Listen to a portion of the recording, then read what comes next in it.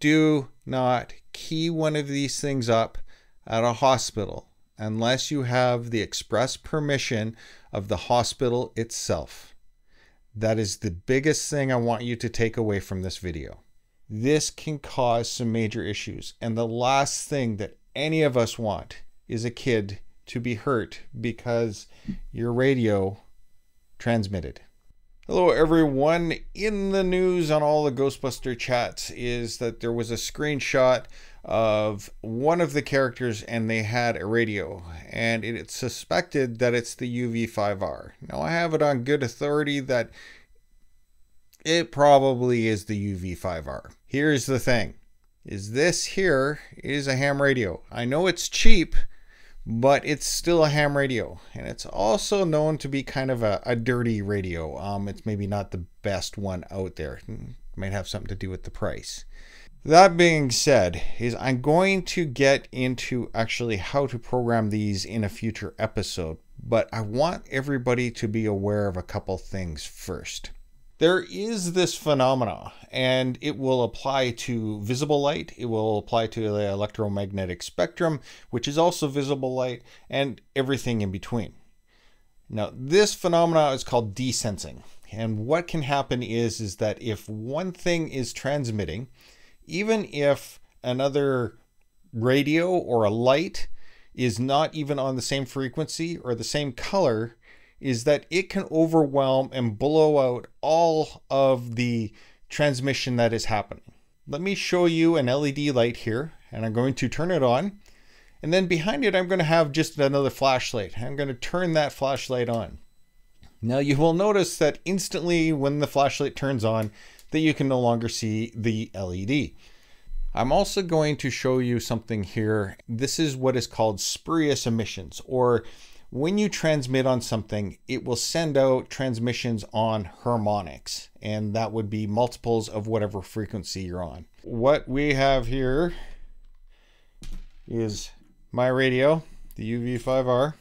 I have this, this it's called an antenna attenuator, and what this allows me to do is to send a signal from this radio to this device right here, this thing called a Tiny SA and what it will do is tell me where the frequencies are on this or where it's transmitting. I'm going to use what's called a simplex frequency. So this is the 14652. This is not a frequency that you're allowed to use unless you are licensed. This blue line here is the legal limit of where a harmonic can actually give extra power. Now I'm going to take this radio and I'm going to key it up. And you'll notice that things raise up here. And you'll notice that the first spike is really high. Then you see the second spike. It went up above that blue line for a minute, and now it is down below. Now this is technically illegal radio because that spur, or that number two, is below the blue line. But it wasn't below the blue line when I first keyed it up.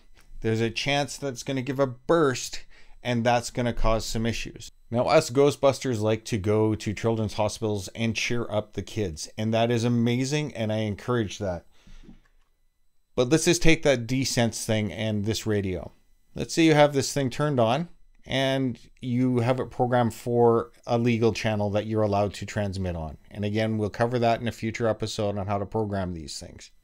If you key this thing up around some equipment that uses radio communications and you desense it, you might be putting some of the medical equipment at risk of not functioning properly. Now, let me say that again. If you key up the radio near medical equipment, you have the chance of desensing it. And if you desense it, that medical equipment is not going to be able to work properly. This is not what the Ghostbusters are all about. So please do not key up one of these radios within a hospital environment unless you have express permission from the hospital to do so. This can cause some major issues. And the last thing that any of us want is a kid to be hurt because your radio transmitted. The ham radio community, strangely enough, is very much like the Ghostbusters community, and they would welcome a lot of you with open arms you have to take a test and show that you understand competency on using the radio and things like I just showed you on the desensing and the spurious emissions. Because if you're not aware of these, you can cause some major issues for emergency services, for hospitals, for search and rescue. Am I telling you not to buy the radio? No, not even close. If you want to get the radio, that's great.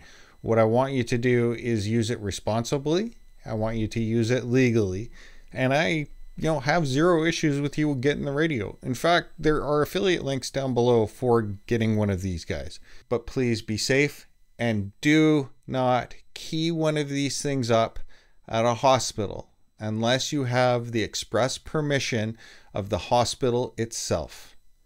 That is the biggest thing I want you to take away from this video. I can't believe I just about forgot to put this on here. Some of you have been following my channel for quite a while and I have props and effects and that kind of stuff on here. I also run another channel or just started a new channel and it's called the Ham Radio Rookie and it is on my adventures of learning how to play around with ham radio. And let's be completely honest, if you're a complete and utter Ghostbusters fan, you're a nerd. Ham radio guys, they're nerds. Just different kind of nerdery. You should go check it out cuz it's it's a lot of fun keep on busting, keep on putting smiles on kids' faces because that is awesome and you are amazing when you do stuff like that. Just be safe.